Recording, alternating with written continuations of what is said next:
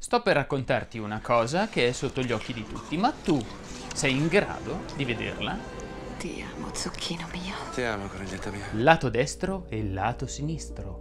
A cosa corrispondono nel nostro immaginario e come vengono usati per condizionarti? Mettere vuole la E chiusa. Sul mio canale puoi trovare parecchia roba interessante, quindi iscriviti e attiva la campanellina. Questo tuttavia è il primo video che faccio sui condizionamenti. Quel castello ha un'aria molto sinistra. Non svoltare tre volte a sinistra. Porta male. Sabrina? Ciao, senti, c'è un problema, ho avuto un sinistro. Sabrina è la mia assicuratrice. Dall'ufficio sinistri! Perché mai questo povero lato sinistro è così maltrattato dalla nostra cultura? Pensa che fino a un po' di anni fa ai bambini mancini veniva imposto l'uso della mano destra. Perché la mancina è la mano del diavolo. A me paiono entrambe mie. Ma quale diavolo?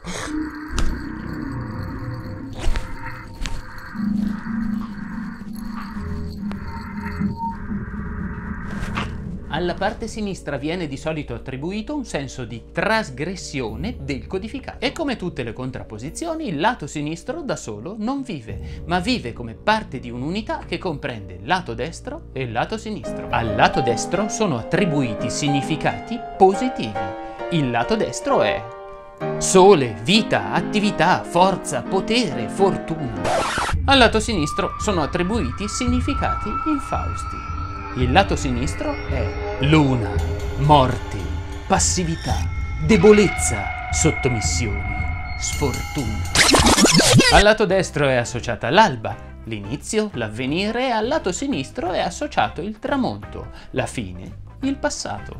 L'aggettivo destro deriva dal latino dexter e significa propizio. L'aggettivo sinistro deriva anch'esso dal latino sinister, ma significa infausto. Raga, io non ho studiato latino, eh, questa me l'hanno detta. Considerate che per i romani era di così cattivo auspicio che un ospite entrasse in casa col piede sinistro che c'era un servo, addetto addirittura ad evitare che questo accadesse. Tieniti forte, donna, perché nella nostra cultura al maschio è associato il lato destro e alla femmina è associato il lato sinistro. Questo bada non significa che io sia d'accordo. Ambasciator non porta pena. Secondo la religione cristiana, la donna è complementare all'uomo e nasce dalla sua costola. La donna è la parte negativa dell'umanità. Eva è tentata dal serpente e infrange il patto con Dio, portandosi dietro il povero Adamo, che si sa è uno stinco di santo e è solito sciacquarsi le ascelle con l'acqua santa. Noi non ci laviamo le ascelle nella pozza delle lacrime sacre. Eh? Per i musulmani non mi pare vada molto meglio. Non ho idea del motivo per il quale ad un certo punto della storia colei che dà la vita inizia a venire considerata come parte mancina. Dicono, facciamo come le mantidi magari, ma un equilibrio ci sarà. Io non ho problemi col mio papà. Forse perché mamma gli staccò la testa prima che nascessi. Non lo so. Ora, ragazzi, mi direte che ormai questa cosa non esiste più e che ormai la donna è uscita da quella condizione disfavorita. Sicure? L'ultima volta che siete stati e state ad un matrimonio, avete per caso verificato da che parte sta lo sposo? Sta a destra. Questa cosa avviene per un duplice motivo. Per gli invitati al matrimonio l'uomo è sulla destra, la donna sulla sinistra. Per lo sposo la donna è sulla sinistra. Vatti a ripassare l'inizio del video, quando si parlava di mano del diavolo. La posizione canonica nel letto matrimoniale è identica. L'uomo a destra e proprio a fianco del lato sinistro la sua compagna. Quindi lui è portato a considerare lei come corrispondente al suo lato sinistro. Parallelamente l'inconscio della donna è guidato a considerare l'uomo in corrispondenza del proprio braccio favorito, il destro. Tutte cose vecchie, tutte cose appartenenti al passato. Sicura? Accendiamo la tv e guarda che questa cosa non termina mica domenica. Nutella Spot 2020 sarà un caso. Due maschi a destra, due femmine a sinistra. Mulino Bianco Spot 2020 addirittura due occasioni. Nemmeno i bambini si salvano.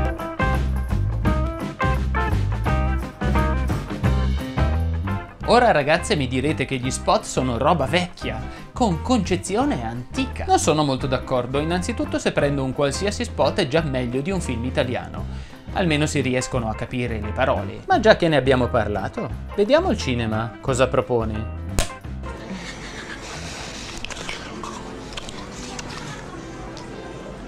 Ti amo, zucchino mio. Ti amo, coniglietta mia. Hai appena visto la scena iniziale di Pulp Fiction e francamente non mi sento di affermare che Quentin Tarantino fosse un neocatecumeno nel 93-94. Wow. That's amazing and terrifying. Questo invece era Avengers Endgame, un film direi abbastanza noto del 2019. We're going now?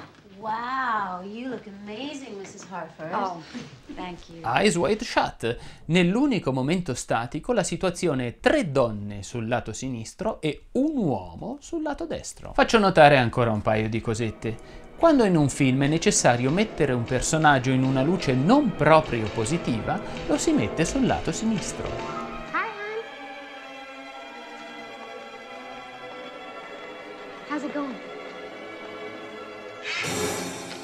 Jack Torrance, cioè Jack Nicholson, è ovviamente un maschio, ma in questo specifico film viene messo sul lato sinistro rispetto alla moglie.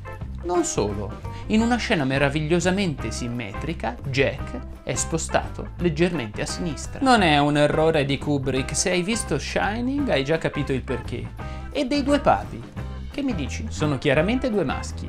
Due papi. Chi accidenti metto a destra?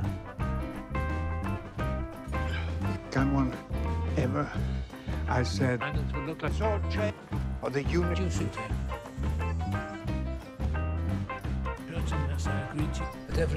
Secondo te, a quale dei due papi il regista attribuisce un significato positivo? A Ratzinger oppure a Bergoglio? E resta incollato o incollata fino alla fine del video perché su questo film ho un'altra cosetta da dirti.